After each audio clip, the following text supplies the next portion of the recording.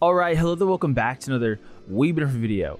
Today's video is a video that I've actually spent the past week doing some research on and trying things out myself on Yu-Gi-Oh! Master Duel. So eventually make this video and to give you guys the most original. I say that, but it's just to it's totally not true. That that's the thing about this video is there's a lot of things that is not original about it because I think there's some things that are just so universally cool. Before we even get into that, what we're doing today is the top five coolest ways to win. And when I say that, I don't mean like a deck type. I mean, someone could interpret it as that, but I think of cards that are like the win condition cards, cards that are going to get you the dub or that are going to determine how the match is or duel is going to go. So, as much as I'd love to tell you this is original, there's like two or three on here that I think almost everyone would agree upon. So I want to get the very obvious ones out, out of the way. Right? Because that's just that's just what's gonna happen. There's going to be that one or two. Arguably three, I don't think so, but one or two universally agreed upon. The most universally agreed upon coolest way to win, in my opinion, that I've seen, I'm my opinion plus from what I've seen, I should say, needed to reword that. From what I've seen and from the people I've talked to and from different opinions on the subreddit, we have drum please for the most obvious number one ever. We have Exodia. I mean, it's not gonna get more cool than this, in my opinion, just because it's like in the second episode ever. Is it the first episode or second episode ever of Yu-Gi-Oh? This is what everyone knows is like so badass if you can pull it off.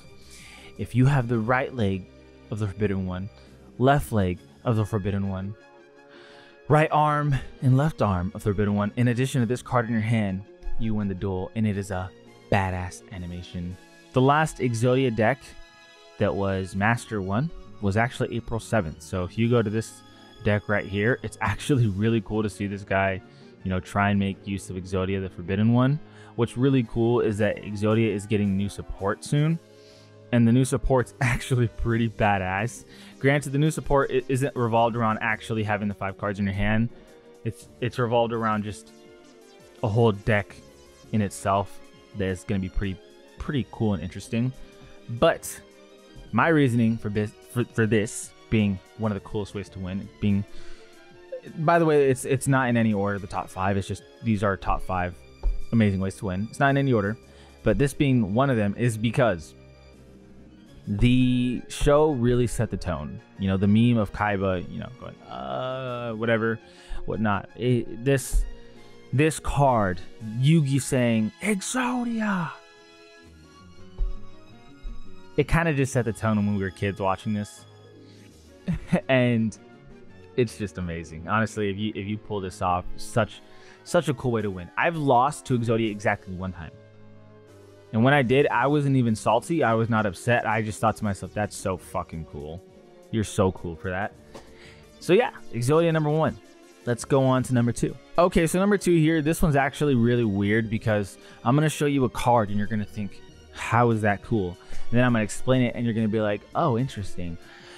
Anyway, Number two, drum roll, please. We have da, da, da, done Maxx C draw out.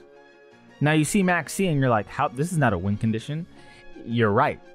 But my cousin T, aka Dr. Legit Sauce, was dueling once. He activated Maxx C on the opponent's first turn. And I joke you not, not even messing with you the dude had an anti Maxx C deck to where all he does is special summon.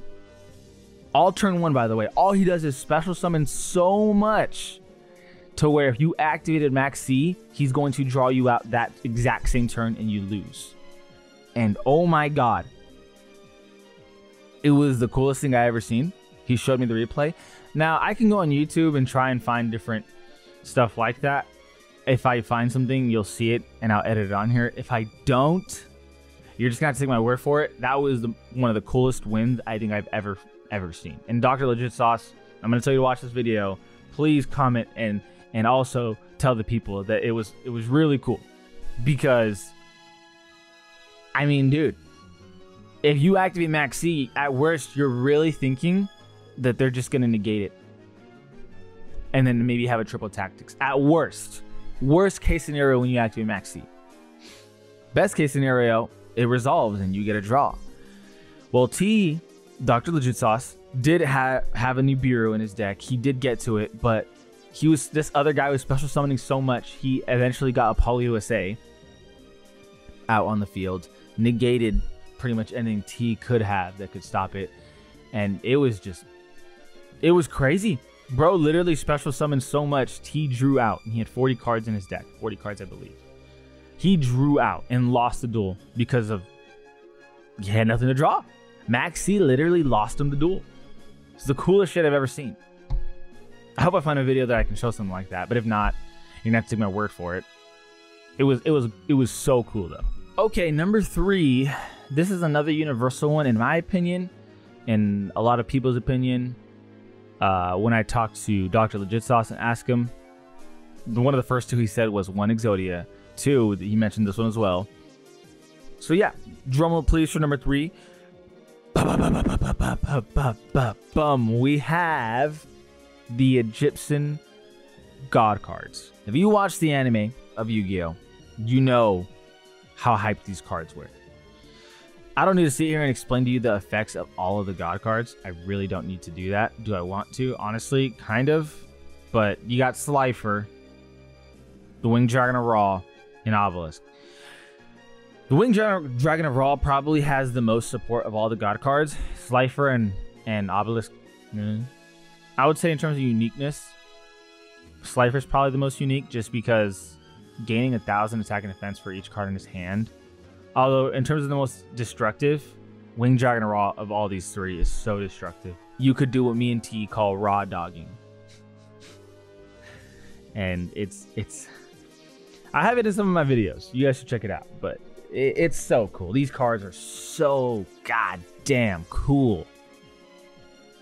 The animation for them as well.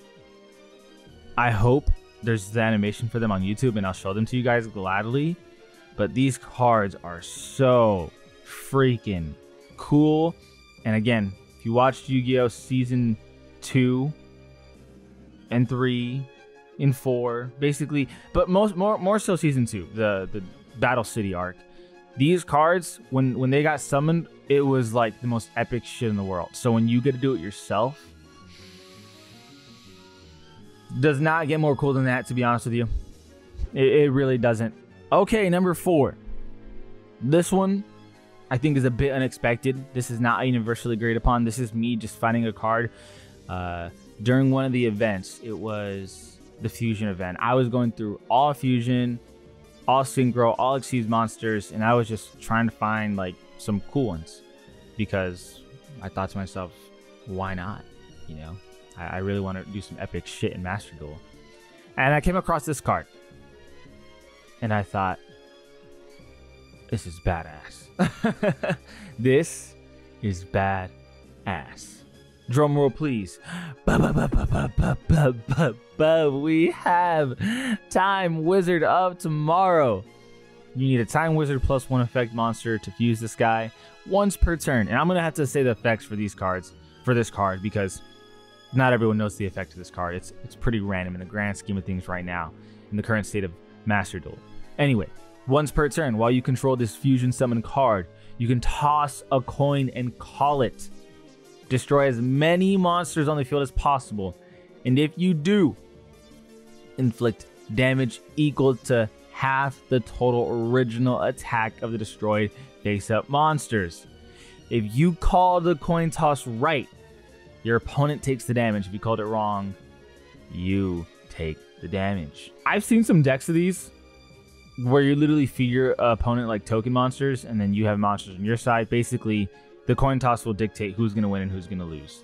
That is so epic in so many ways because it's like you're definitely at a disadvantage because typically when you get your full board set up, you're going to win 90 plus percent of the time. You're not risking a 50 50% chance of your opponent outright just getting lucky and winning or you getting lucky and winning. You know, because if the other, you not only do you have to face the fact that once you get your ideal setup, you have to do a 50 50. When you don't get your setups, your opponent's going to win anyway. So you're definitely at a disadvantage. The deck isn't good. But goddamn, is it really cool.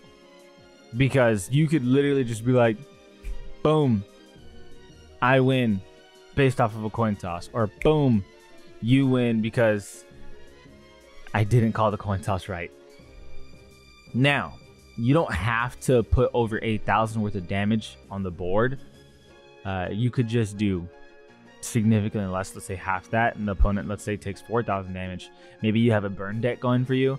I don't know. But the idea of Time Wizard of Tomorrow is so epic. I just had it included included on this list. This one, I have never seen it pulled off in a legitimate duel. I have never really heard anyone talk about it. Again, during that Fusion Synchro Xyz event, I was going through a bunch of cards, and this card was a normal card, and I thought, dude, that's so cool. Now, you're not going to pull it off in today's Yu Gi Oh! It's just ridiculously hard. But it's a literal win condition if you can pull it off. We have, I didn't even say drum roll, please, drum roll, please. The great double casted caster. Some of you might know this card, some of you might not. A normal, sorry, a spellcaster, light level 8 fusion card, two non effect monsters. That's the part that is what makes me say this card is like, that's ridiculously hard to pull off. Two non effect monsters in today's Yu Gi Oh! is just not going to happen. Anyway, gains attack equal to the combined original attack of any ritual, fusion, synchro, Xyz, or link monsters used as fusion material for this card. This card can attack directly.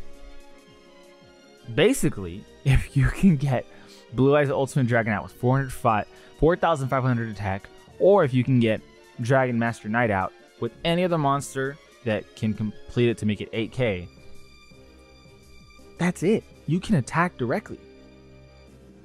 The other person's screwed. Now, there's other ways you can do this. Like, there's like the kangaroo dude who has like 42. Kang, I don't know his name.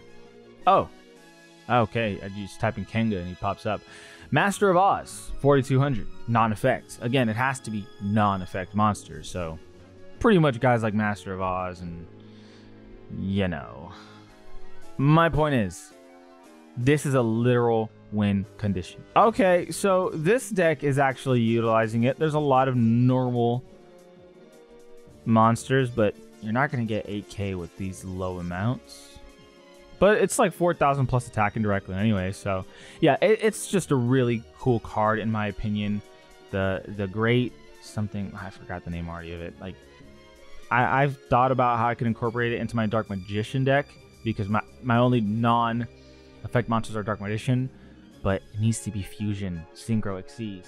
So then I did a couple other things to try and make it work, but it's really hard to get this card to work, but it is really cool. If you can win like this, like if you can flat out win using this card, that is sick. There's not a lot of people, there's no one doing that. No one's doing that. Look at the deck stats. No one is doing that. So that would be sick. That's my top five coolest ways to win. All of it's subjective, of course. Also, I could just outright have missed a cool way to win that maybe you guys remembered or that you guys thought of. Let me know what you guys think uh, is one of your coolest ways to win in Yu Gi Oh! You heard my top five. If you guys want me to do another list, five more cool ways to win, I can gladly do that because I thought of a couple more other things. They just didn't make the cut. I thought these were a little cooler. Anyway, though, I greatly appreciate you guys for watching. Feel free to like and subscribe.